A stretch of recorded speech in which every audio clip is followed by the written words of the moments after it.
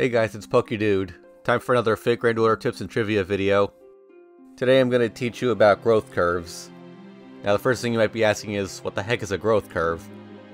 It's a hidden mechanic that I don't think the game ever directly acknowledges, which is strange because it's extremely useful in the early game, but pretty much useless by the time you finish part 1. There are five kinds of growth curves that a servant can have. Linear, S-curve, reverse S-curve, semi-S-curve, and semi-reverse S-curve.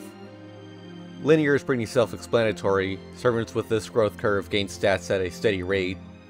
Servants with an S-curve don't gain a lot of stats at the beginning and end of their growth, but they skyrocket in the middle. A reverse S-curve is just what it sounds like. These servants have high stat gains at the beginning and end, but stall out for a while in the middle and semi-S and reverse S curves are less extreme versions, being somewhere between their full counterparts and the linear curve. As a new player, you can take advantage of this knowledge to prioritize servants with the right curves for the part of the story you're on.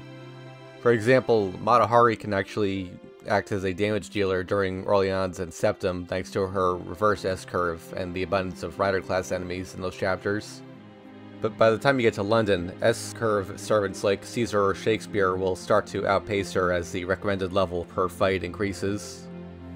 Now, by the time you hit Camelot, you should have your best servants at or near their max level, so curves mostly stop mattering.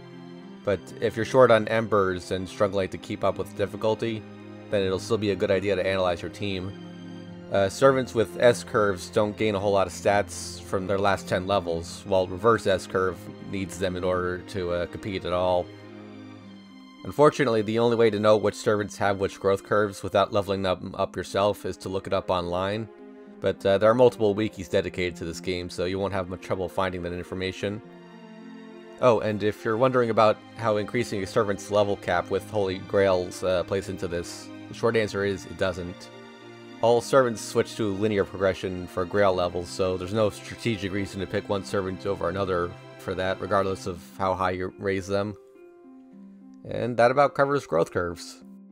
If there's a subject you'd like to see me cover in a video, uh, leave a comment and I'll consider it. And if you'd like to help support the channel, I'd greatly appreciate if you uh, checked out my Patreon and Ko-fi pages in the uh, video description. Thanks for watching. See you next time.